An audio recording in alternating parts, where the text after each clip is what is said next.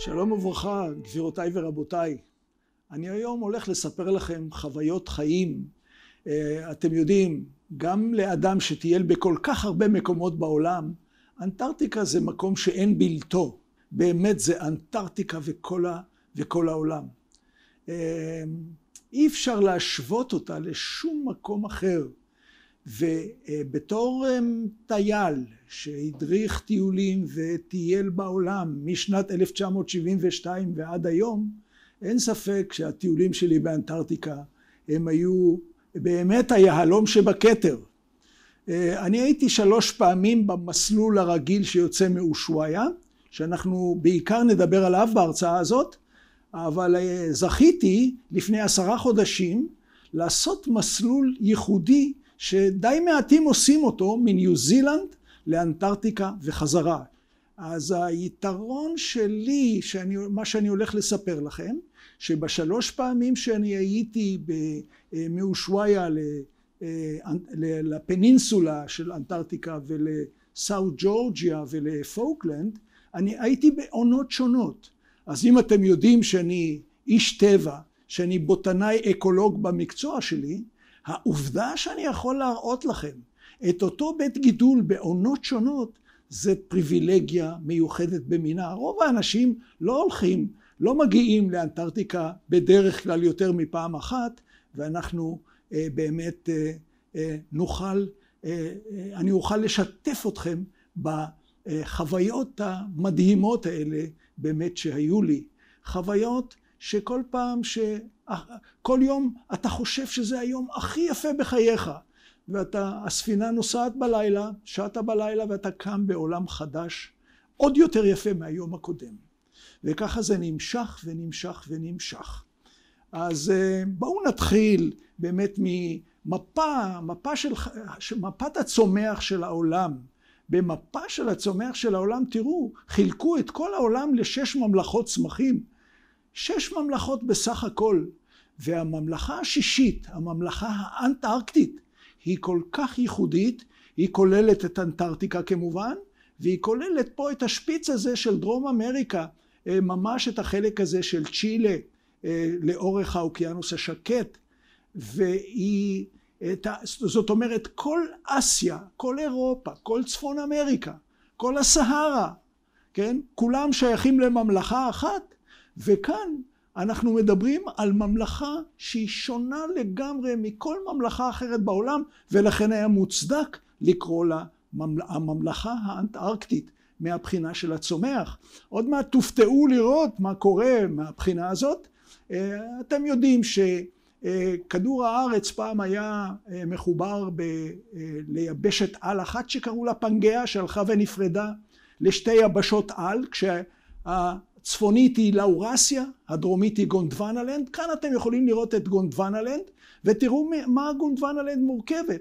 היא מורכבת מדרום אמריקה, היא מורכבת מאפריקה, היא מורכבת מהודו, היא מורכבת ממדגסקר, היא מורכבת מאוסטרליה והיא מורכבת מאנטארקטיקה. תראו אנטארקטיקה מוקפת על ידי הלוחות של היבשות האלה מכל הכיוונים מלבד מכיוון דרום. זאת הסיבה שכש... אה, עושים אה, מחקרים ובודקים מה גדל בעבר באנטארקטיקה, מוצאים שם צמחים טרופיים, מוצאים אה, אלמנטים של בעלי חיים מיוחדים במינם שאי אפשר לחלום עליהם היום. תראו למשל, יש פה מין של שרח שהוא היה בדרום אמריקה, הוא היה באפריקה, הוא היה במדגסקר, אתם, אתם רואים את הסימן הכחול הזה, כן? הוא היה בהודו, הוא היה ב... אנטארקטיקה והוא היה באוסטרליה. איזה דבר מדהים זה. או שיש כאן מין של זוחל שהיה באפריקה, במדגסקר, בהודו ובאנטארקטיקה. כלומר, העובדה הזאת שהלוח הזה נע ורק מאוחר יותר הוא הגיע למיקום הנוכחי שלו כשבמרכז היבשת פחות או יותר ממוקם הקוטב הדרומי, אתם צריכים להבין איזה, איזה דבר מיוחד קרה בעולמנו ומה אנחנו יכולים לצפות למצוא ביבשת הזאת. שכל מה שאנחנו רואים בה זה מה שאנחנו רואים בה היום, אבל העבר שלה היה עבר מרתק ושונה לגמרי מכל בחינה שהיא. ובואו נמשיך ונראה את היבשת עצמה. אנחנו לא כל כך נוהגים להסתכל על כדור הארץ, על הגלובוס, שאנחנו, יש לנו אותו ממתי שהיינו ילדים, מהכיוון של הכתבים, אבל ככה זה נראה כשמסתכלים על אנטארקטיקה. האזורים הכהים האלה שאתם רואים כאן, אלה הם שדות קרח. בהתחלת ההרצאה שלי אני אספר לכם על השדה הקרח הזה, רוס שלף הוא נקרא, שדה הקרח של רוס, שהוא הרבה הרבה הרבה יותר גדול כמובן משטחה של כל מדינת ישראל. השטח של אנטארקטיקה דרך אגב הוא פשוט עצום. תארו לעצמכם, אנחנו מדברים על 14.2 מיליון קילומטר מרובע. רק אסיה יותר גדולה וצפון אמריקה ודרום אמריקה ואפריקה. שתי אוסטרליות נכנסות באנטארקטיקה.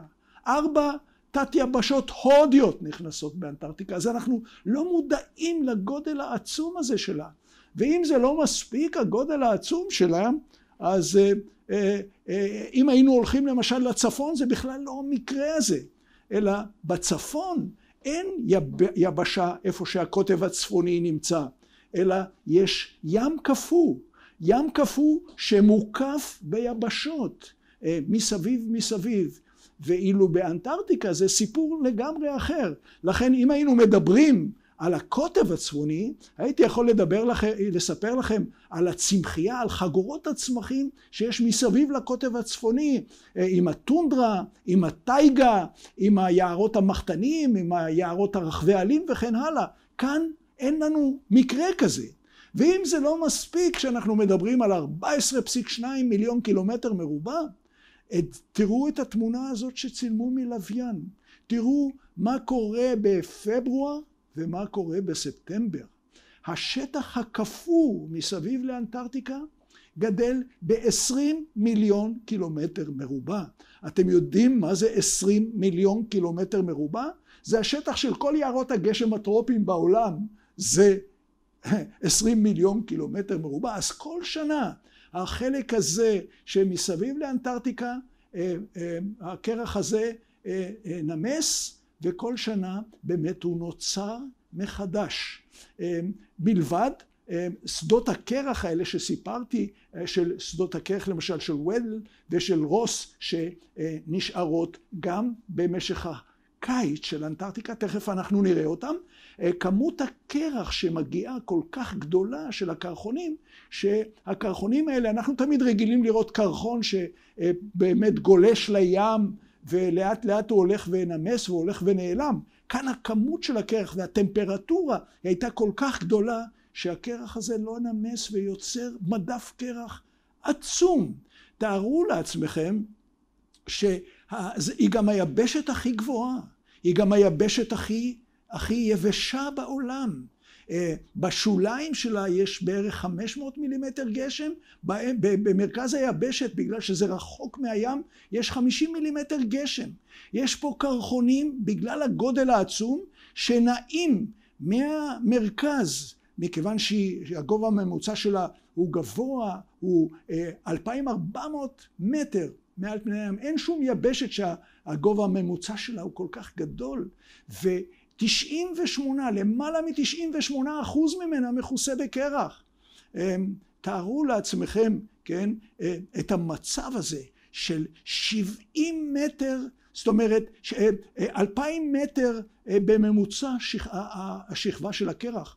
יש שם גם הר שמגיע כמעט לחמישה קילומטר, אנחנו נראה הר אחר שמגיע כמעט לארבעה קילומטר, אבל זה דבר, זה כמות המים המתוקים, 70 אחוז מכמות המים המתוקים בעולם נמצאת באנטארקטיקה.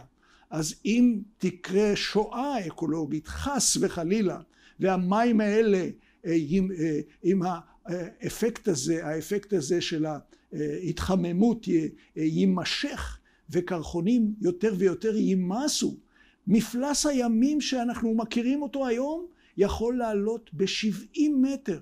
איזה קטסטרופה יכולה להיות בעולם אם מפלס הים בעולם יעלה ב-70 מטר. אנחנו כל כך מקווים שדבר כזה כמובן לא יקרה. עכשיו, אתם צריכים להבין שאנטארקטיקה היא איזשהו, אה, כמו מקפיא של כדור הארץ, בגלל כמות הקרח העצומה, בגלל הטמפרטורות, הטמפרטורה הנמוכה ביותר שנמדדה אי פעם, נמדדה באנטארקטיקה, 89 מעלות מתחת לאפס. אפילו החיסונים של פייזר שצריכים מינוס 70 יכלו להסתדר שם בלי מקרר בכלל.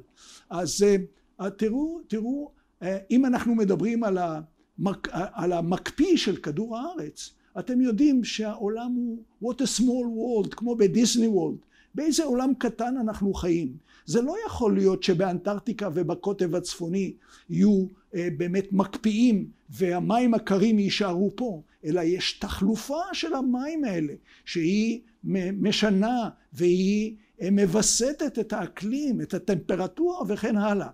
אז אה, מכיוון שאתם כבר יודעים שבצפון אין יבשה אלא ים קפוא בלבד וכאן יש יבשה עצומה שבמרכזה נמצא הקוטב כמו שאתם רואים אז הטמפרטורות הנמוכות האלה אה, ככל שמתרחקים מהיבשת נוצרת פה חזית מאוד מאוד מיוחדת. כשמתקרבים, ל, אה, אה, כשמתקרבים ליבשת הזאת תוך זמן קצר עוברים כאן איזושהי חזית של מטמפרטורה יחסית גבוהה לטמפרטורות מאוד מאוד נמוכות. ובגלל העובדה הזאת יש פה מין אה, מין מסלול כזה של, של, של זרמים מסביב ליבשת בגלל הצורה הזאת המיוחדת שלה שיש כאן עושר בלתי רגיל של מנרלי מזון שמאפשרים למסות אדירות של יצורים ימיים לחיות במים האלה וכמו בחד גדיא על היצורים האלה חיים עוד ועוד ועוד יצורים עד שאנחנו מגיעים ליצורים הכי גדולים שמבלים שם את הקיץ כמו הלוויתן הכחול שהוא היצור הגדול ביותר שנוצר אי פעם על כדור הארץ ויכול להגיע למשקל של 180 טון ולאכול ארבעה טון ביום של, של, של קריל, של, של סרטנים ארוכי בטן באורך של חמישה סנטימטר, שגם הפינגווינים, גם כלב הים הנמרי וגם הרבה מאוד יצורים אחרים ניזונים מהם בגלל העושר האדיר הזה של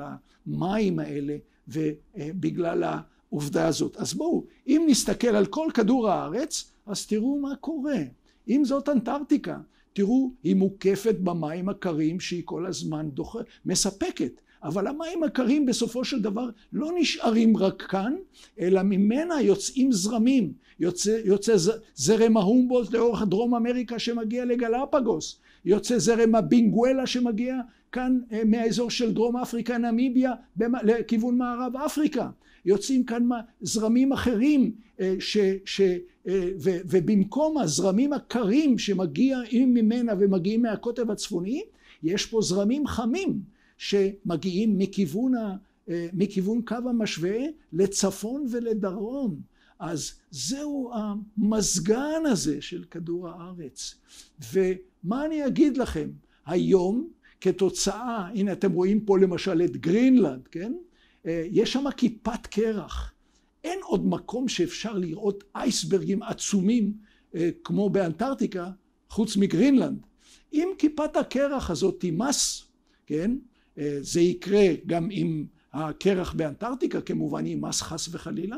לא רק מפלס הים עולה, אלא כמות המים, המלוא, המים המתוקים שלה, שהקרח הוא רק מים מתוקים הרי, אז הוא ימהל את מי הים, והמהילה הזאת של מי הים יכולה לגרום לשינוי של הזרמים האלה. אה, שינויים אדירים יכולים להתרחש כאן. אה, ותארו לעצמכם, זרם שכולנו מכירים, זרם הגולף, לא יגיע ל, לא לאנגליה, לא לסקוטלנד, לא לסקנדינביה, לא לגרינלנד, לא לאיסלנד, לשום מקום. אה, תארו לכם איזה דבר כתוצאה מהצפיפות השונה של המים כתוצאה מהעובדה שהזרמים האלה ישנו את הנתיב שלהם. איז, מה, מה יכול לקרות באמת אה, בכדור הארץ? אז אה, עם אה, תמונת לוויין של אנטארקטיקה תראו את הדבר המדהים. כמו שגרינלנד היא לא אי אחד אלא הוא מורכב מהרבה איים שכיפת הקרח מכסה את כולם גם אנטארקטיקה למעשה, אם היינו מורידים חס וחלילה את כיפת הקרח הזאת, היינו מקבלים גם כן מכלול של איים, במיוחד גוש גדול מזרחי ומערבי. אתם יכולים פה לראות שזה כמעט כמו עיגול, ואתם רואים כאן את הפנינסולה, אתם רואים את חצי האי האנטארקטי שהוא קרוב יחסית לשפיץ של דרום אמריקה, לטיירה דל פואגו, שעוד מעט נדבר עליו. אז רוב האנשים שנוסעים לאנטארקטיקה, נוסעים, יוצאים מטיירה דל פואגו, עוד מעט נדבר על זה, מגיעים פה לקצה הצפוני הזה בלבד של הפנינסולה. ארבעה חמישה ימים מטיילים בקצה, בקצה הפנינסולה, הם לא מגיעים למקומות האלה של היבשת העצומה הזאת. ומה שהתחלתי קודם לספר לכם, המזלי הגדול שאני הדרכתי טיול בינואר פברואר האחרון שהגיע לכאן, הנה אתם רואים כאן את, את, את, את, את מדף הקרח של רוס במשך שבועיים ימים, שבועיים ימים עם הספינה את כל הפיורדים האלה, את כל הקרחונים האלה עשינו מצד לצד. זה משהו שבאמת פעם בחיים זוכים לראות את זה ותארו לעצמכם כן שהייתי בשבועיים האלה כל הזמן באור יום כן ינואר פברואר זה אמצע הקיץ ולא היה לי דקה אחת של לילה כדי לישון בחדר היינו צריכים לסגור את הווילונות כדי שיהיה קצת חושך ואפשר יהיה לישון. אם אני לוקח את המפה של הלוויין של אנטארקטיקה ואני אשים עליה את חוג הקוטב אתם יודעים שחוג הקטב זה 66 וחצי מעלות. אתם רואים שבטיולים הרגילים שבאים מאושוויה אז לא מגיעים בכלל לחוג הקוטב. מגיעים בדרך כלל רק לשפיץ הזה של, של, של, של הפנינסולה. לעומת זאת, כשעכשיו סיפרתי לכם על הטיול שעוד מעט אני קצת אספר לכם עליו, שמגיעים פה לים רוס ולמדף הקרח של רוס, אנחנו מדברים על עולם אחר. וככה עם האונייה הזאת, זאת האונייה שהדרכתי בה בינואר פברואר האחרון, אנחנו יורדים עם זודיאקים לחוף וכשאנחנו מטיילים במושבות הפינגווינים האדירות האלה כמו שאתם רואים כאן אז לפעמים אין קרח, יש מקומות שכבר אין קרח אבל לפעמים תראו את המראה של הספינה שלנו כשהיא מפלסת את הדרך שלה בין מדפי הקרח הימי האלה מאופק עד אופק ובספינה עצמה כמו שאתם רואים יש כאן ארבעה מדריכים. אני המדריך בנושאים של בוטניקה אקולוגיה. יש צפר יש מומחה ליונקים ימיים ובצורה כזאת הדבר הזה מתנהל שכשאנחנו יורדים לשטח אנחנו נותנים הרצאות ונותנים סיורים, מדריכים את האנשים שלנו בערבים ואנחנו נותנים הרצאות. אתם יכולים לראות על הקיר של הספינה, יש פה את השמות ואיזשהו כמה מילים על כל אחד מהמדריכים, מהשפים ומה, ומהרופא. אז הנה אני כאן נמצא, אתם יכולים לראות את כמה מילים ש... ניסיתי לייצג אותנו בכבוד. עכשיו בואו נראה בספינה הזאת דרך אגב שעשיתי את אנטארקטיקה זאת ספינה שיש בה 48 מקומות לתיירים. בספינות שאני עוד מעט אראה לכם יש שם 110 או 120 מקומות תאים. אז זה שני דברים שונים הדבר המשפחתי הזה רק חמישה זודיאקים כי יש רק חמישים אנשים. היכולת של התמרון שלה להגיע יותר קרוב לחוף היא באמת פנטסטית. אז בואו נתחיל עכשיו את הסיור הזה שאני נתחיל עם מה שהבטחתי לכם אמנם אני מתנצל שזה רק על רגל אחת אבל אני לא יכול להתחיל לדבר על אנטארקטיקה בלי לספר לכם את החוויה החמה ישר מהתנור שעשיתי אותה בינואר פברואר האחרון. אם כן זהו זהו מדף הקרח של רוס, כן? מדף הקרח הגדול ביותר בעולם. ואתם יכולים פה לראות, אנחנו נכנסנו, באנו מניו זילנד ונכנסנו פה כמעט במשך שבועיים עשינו את הקטע הזה. כלומר לא רק את הקטע של השפיץ של הפנינסולה כמו שאתם תראו בזה, אלא עשינו את כל את כל המסלול הזה עם כל הפיורדים האלה, הנה מדף הקרח שאתם רואים אותו כאן, ובואו תראו את המראות שרואים כאן. אחרי שהקרח נמס, רואים כאן מושבות של פינגווין הדלי. זה לא רק הפינגווינים שאתם רואים כאן, כל השטחים האלה שלא היה להם אה, שהם הפשירו ראשונים מקרח, כל זה מלא פינגווינים, כל זה מלא פינגווינים, כל הגושים האלה עד למעלה, זה, אה, הגובה כאן הוא למעלה מ-150-200 מטרים, הכל הכל מלא פינגווינים. בואו תראו, את זה צילמתי באמצע הלילה, בשתיים בלילה, אור נמוך, אור נגוהות כאלה, כזה. אה, לא היה לנו בכלל חושך כמו שאמרתי לכם, וזה המראה.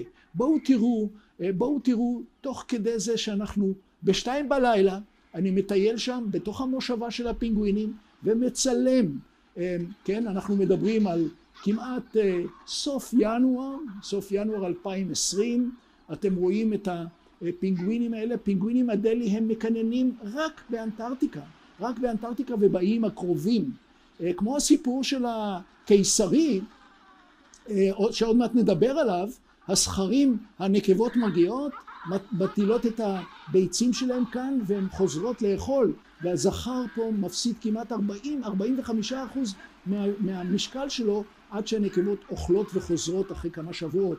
כאן ההורים האלה שמגדלים את כל הצעירים האלה שזה חבית ללא תחתית. כמה שמאכילים אותם הם רוצים עוד הם צריכים להיכנס למים הקרח קצת סוגר עליהם והם צריכים לקפוץ לתוך המים כדי להאכיל את הצאצאים ותראו, אני עומד, ויש להם ככה בעיה, וכל פעם מגיע אה, עוד קבוצה של פינגווינים, אה, שאחד אה, מעודד את השני להיכנס למים, אבל הם מפחדים שהקרח הימי הזה אה, ימחץ אותם.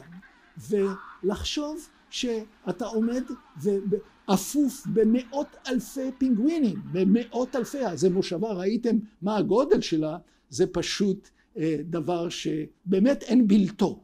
ומכיוון שזכיתי להיות בטיול האחרון, כמו שאמרתי לכם, אה, כאן אתם יכולים לראות את אה, כל מגלי העולמות, האקספלוררים המפורסמים ביותר, זאת הבקתה של סקוט, רוברט פלקון סקוט, אה, במשלחת שלו, כן, טרה נובה אקספדישן, שהוא הקים אותה את הבקתה הוא הקים בינואר 1911 אבל המשלחת יצאה כבר ב-1910 וכשאתה עומד פה בדלת של הבקתה הזאת זאת הדלת שסקוט יצא ממנה כבש את הקוטב הדרומי, הדרומי ולא חזר, לא הצליח, 18 קילומטר הוא היה ממקום שאפשר היה להציל אותם והוא לא חזר. אז 14 בדצמבר באמת 2011 1911 אה, אמוצן מגיע, הנורבגי, מגיע לקוטב הדרומי וסקוט ועוד אה, שלושה אנשים מגיעים חמישה שבועות רק בשבעה עשר בינואר 1912. איזה אכזבה זאת הייתה גדולה. אז לחשוב שהוא חזר, הוא כתב יומן והוא כתב שזה הדבר הכי נורא שיכול להיות כאשר הוא מגיע ורואה את הדגל נורבגי תקוע בקוטב הדרומי. אז לעמוד בדלת הזאת שסקוט יצא ממנה ולא חזר, אתה שומע את משק ההיסטוריה, ובתוך הבקתה הזאת תראו את, ה, את כל הדברים, וכאן רואים, זו תמונה אמיתית שצילמו אותו עם השולחן שלו, ואתה נכנס לבקתה בדיוק לחדר, בדיוק לשולחן שהוא ישב בו, עם מנורת הקיר, עם המיטה שלו, עם הפינגווין הקיסרי הזה. אה, פשוט אתה, אתה, אתה, אתה אה, מסתכל למעלה ונדהם. ואם סקוט אנחנו מדברים, אז בואו. אי אפשר שלא להזכיר את שקלטון. אז שקלטון, זאת הבקתה של שקלטון. אה, מהבקתה של שקלטון באירוס, רואים כאן את ההר הזה, את ארבוס, אה, שהוא בגובה של קרוב לארבעה קילומטר, והוא הר געש פעיל, כל הזמן הוא מעשן. אז כאן אתם יכולים לראות במשלחת של שקלטון, ש... נקראת אה, אה, נמרוד, אה, כן, 1907, 1909, מכאן יצא שקלטון לכבוש את הקוטב הדרומי, הוא הגיע כמאה מייל ממנו והוא חזר כי הוא לא רצה לסכן את האנשים שלו והוא החזיר אותם בשלום. מהבקתה הזאת רבותיי, איזה משק של כנפי היסטוריה ואלה הדברים שאפשר לראות בבקתה של שקלטון. וכאן אתם יכולים לראות את אחד הדברים האדירים שיש בעולמנו זה האייס שלף, רוס אייס שלף, המדף הקרח של רוס זה, זה לא קרחון שאנחנו אה, מגיעים ושתים פה ורואים את המצוק הזה שהוא גובה שלו עשרה מטר, אה, עשרות מטרים, אלא זה שטח של עשרות קילומטרים מרובעים, שטח עצום עצום, אה, כמעט, כמעט, כן, שטח באמת שהדמיון לא יכול, כולו מכוסה עם מדף עצום של קרח אינסופי. ועל המדף הזה ועל הקרח מסביב, בפעם הראשונה שזכיתי לראות פינגווין קיסרי, אה, אה, אה, בוודאי ראיתם את הסרט המדהים על, ה, על, ה, על הפינגווינים האלה ועל החיים שלהם באזור הזה, הם מטילים על קרח ימי, הם לא מטילים על קרח יבשתי, לכן זה, ההטלה שלהם היא באמת באמצע החורף, ואתם רואים בבקשה, אנחנו על הקרח, ופעם ראשונה בחיים שלי שזכיתי אחרי שלוש פעמים שהייתי באנטארקטיקה, זכיתי לראות את הפינגווין הקיסרי, והוא לא מפחד מאיתנו, הוא מתקרב אלינו, כן? זה ייצור שיכול להגיע ל-40 קילו, הזכרים כשהם הולכים לדגור הם שוקלים 40 קילו כמעט, הם מאבדים 45 אחוז ממשקלם עד שהנקבות חוזרות באמצע החורף אה, באמצע החורף האנטארקטי, אה, זה פשוט מדהים. אה, אז אתה נמצא על הקרח וכל כל, כל, כל, כל שעה, כל רגע אתה נמצא במקום אחר, כל רגע אתה רואה דברים שהם פשוט משאירים אותך פעור פה מהיופי ומהמפגשים האלה של שרק בחלום אה, אה, אה, באמת יכולת לחלום עליהם. ומכאן, ומכאן אנחנו הולכים לעיקר ההרצאה שאני רוצה להראות לכם, אחרי שנתתי לכם איזשהו פתיח כדי לגרות את הדמיון שלכם על אנטארקטיקה, לא רק האזור הזה של השפיץ של הפנינסולה, אלא, אלא על אנטארקטיקה שרוב האנשים עושים במשך תשעה עשר יום יוצאים כאן מאושוויה, מטיירה דל פואגו, ארץ האש, תעלת ביגל, אה, עוברים את, אה, אה, את מיצרי דרק, זה המיצרים שמחברים את האוקיינוס האטלנטי עם האוקיינוס השקט, זה אחד המקומות הסוערים בעולם, באחד הטיולים הייתה סערה ונאלצתי לתת שמה הרצאה, אבל עברתי את זה בשלום. וכאן אנחנו מטיילים במשך כחמישה ימים, ארבעה ימים, שישה ימים, תלוי באיזה טיול, ומגיעים אחר כך לאחד המקומות המדהימים בעולם, אה, שזה South Georgia, ומכאן אנחנו נסיים באיי פוקלנד, אה, שאתם רואים אותם נמצאים כאן. אז ככה נראית אושוואיה, העיר הארגנטינית הדרומית ביותר בעולם. אני זכיתי להיות הרבה פעמים שם. תראו את, את קו היער, עד לכאן היער מטפס, ויש לי תמונות של אושוואיה משנים קודמות, שכל זה היה מכוסה בקרח. ועכשיו כשמגיעים לכאן אה, בדצמבר, בינואר, אין כמעט קרח. אה, זה פשוט, האפקט הזה הוא כל כך מהיר, אה, פשוט מדהים. באחד הטיולים, משלושת הטיולים האלה, רעייתי אסנת באמת התלוותה אליי.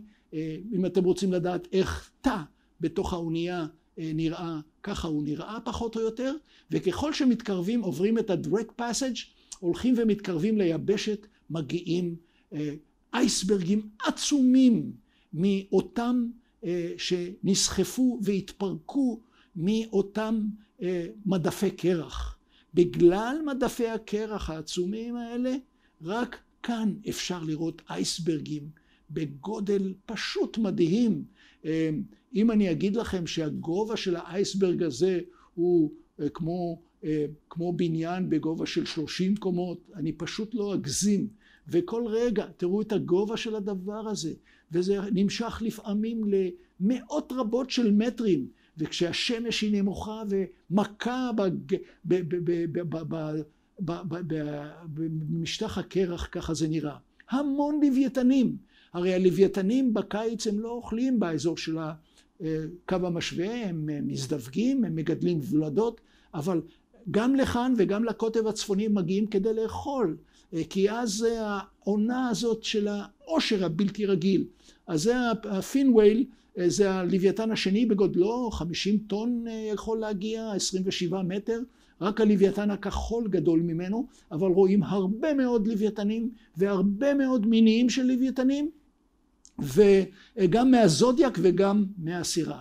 וזה הפעם הראשונה, אני זוכר את ההתרגשות הגדולה שאתה מגיע אה, ליבשת הלבנה, אה, אה, שאיפה שאתה לא מסתכל בה, איפה אנחנו שתים, ומאיפה שאתה לא מסתכל, היופי הוא בלתי רגיל.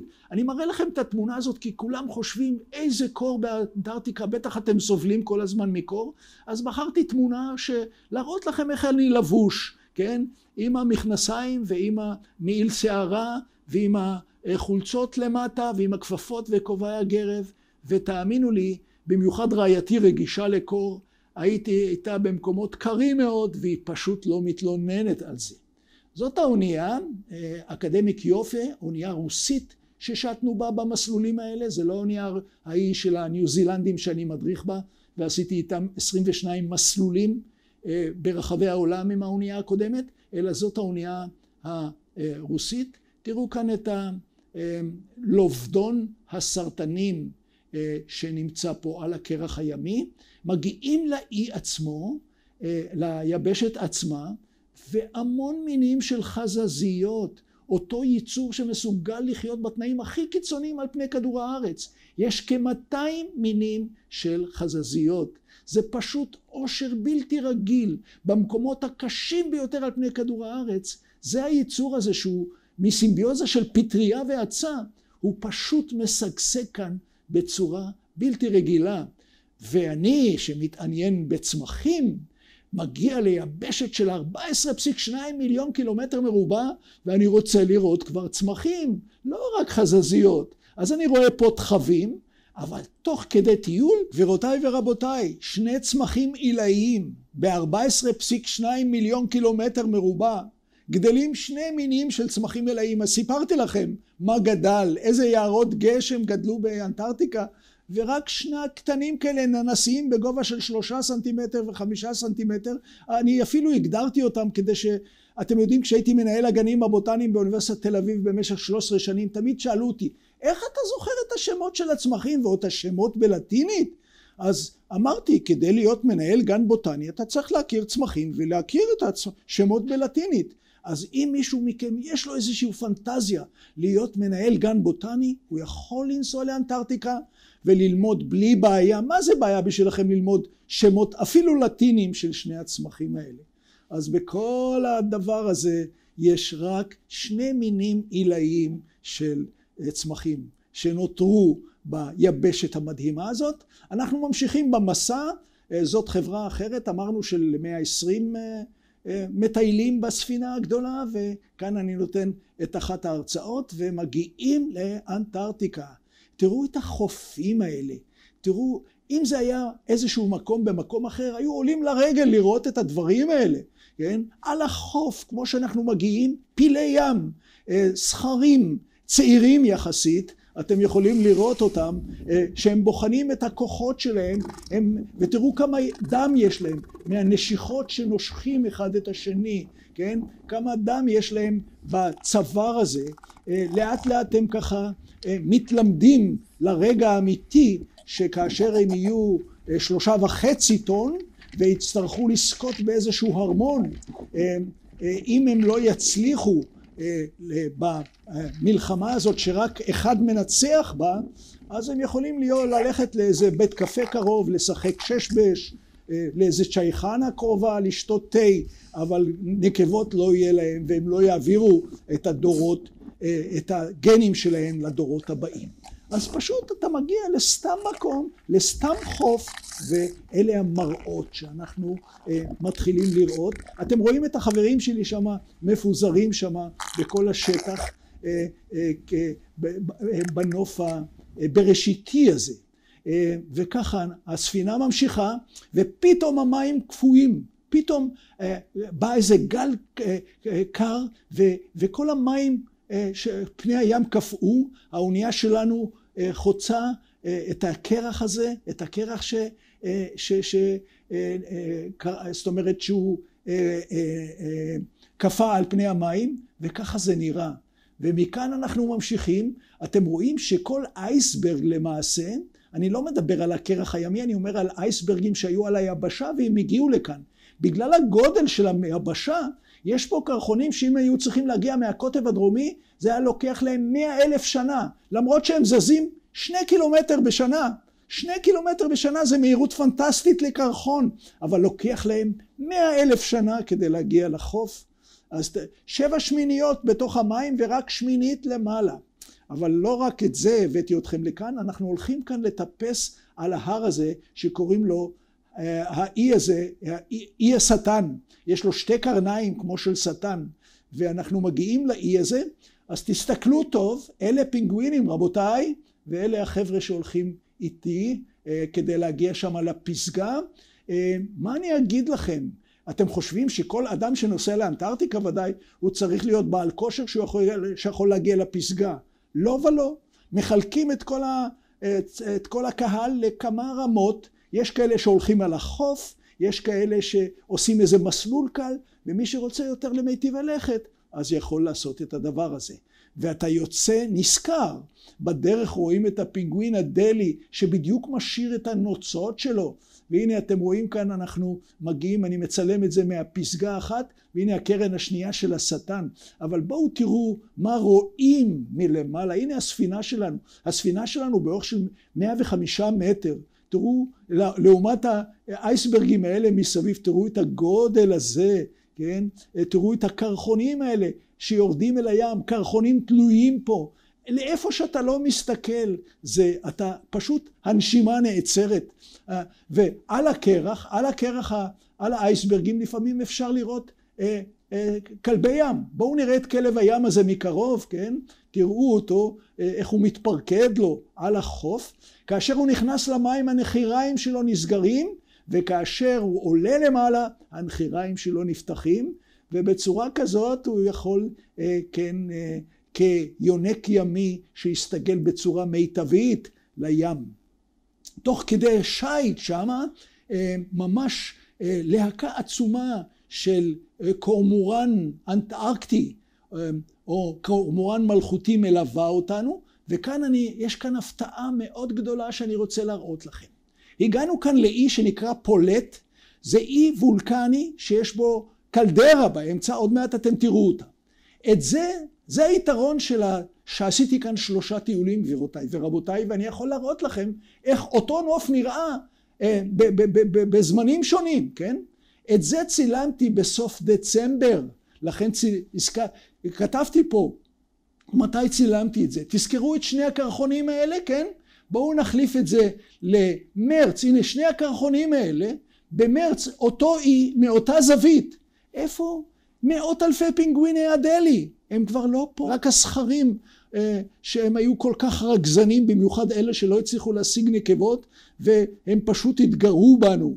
אז זה פשוט, העולם, העולם הזה שאתה מגיע אליו בעונה מסוימת ועולם אחר, זה פשוט עולמות אחרים. אבל בואו נחזור, אני יודע שמעניין אתכם לראות את הפינגווין הדלי הזה, אה, שהראיתי לכם אותו גם מים רוס, כל האי מלא עם המשפחות האלה. השחורים זה הקטנים האלה שהם כבר בני חודשיים, שההורים מגדלים אותם, ובואו תראו אותם. גם עכשיו הם מחזקים את הזוגיות ביניהם על ידי הזדווגויות, כמו שאתם רואים אותם כאן, אה, כן? אה, אה, זה, זה הפינגווין למעשה הנפוץ ביותר, והקטנים האלה הם רעפתנים שאי אפשר לתאר, מה שלא מאכילים אותם, הם רוצים עוד ועוד ועוד ועוד, וההורים עובדים ללא הפסקה, הלא חזור, אה, כדי לספק את האהבה שלהם. הוא מכניס את הראש שלו לתוך הלוע של ההורה, ואוכל ואוכל ואוכל, ולפעמים מגיע למימדים יותר גדולים מההורה, הם ממש כמו חבית נפוחה, ולפעמים הקרח קצת סוגר על ההורים שרוצים להיכנס לים כדי, אה, כדי לאכול עוד קריל ולהאכיל את הקטנים שלהם. אז ככה זה נראה. אתה מתהלך באי כמו בחלום בין האייסברגים האלה שהולכים ונמסים ובין, ה, ובין הפינגווינים האלה שמנסים להיכנס לים.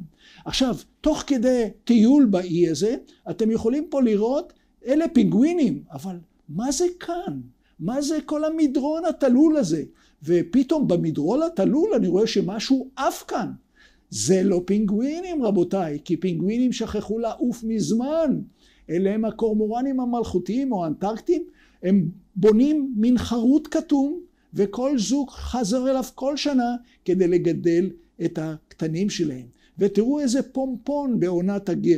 עוד מעט הקורונה תסתיים והחתונות יחזרו אלינו, אז יש כל מיני חתנים שאני יכול להמליץ להם להשתמש בפומפון כזה על ההרצאה, על, ה, אה, על, ה, על הראש. ועוד פעם, יש פה קבוצה של מיטיבי לכת, החלטתי לקחת כמה חבר'ה ולטפס פה על ההר הזה שהוא בגובה של 345 מטר. אתם רואים פה את הלוע של הר הגעש. ככה לוע הר הגעש הזה בפולט איילנד נראה בדצמבר. אה, רואים שיש פה מסלול, אבל הנה אולי עכשיו תראו יותר טוב. את זה צילמתי במרץ שטיפסתי לשם למעלה, ואני לא חושב, אני לא יודע אם אתם יכולים לראות, אבל יש פה ממש מסלול שאפשר להגיע למעלה למעלה, והנה כאן, אה, הנה הלוע של הר הגעש, והנה המסלול שטיפסנו למעלה, הנה אתם רואים אותי אה, מלמעלה. אני בהתרגשות גדולה, כי יש לי עוד שני חלקים להראות לכם, זה רק החלק הראשון. אה, יש פה חלקים של ההרצאה שאני רואה אותה פעם ראשונה איתכם. אז זהו, אז אנחנו ניקח אוויר ונמשיך לחלק השני.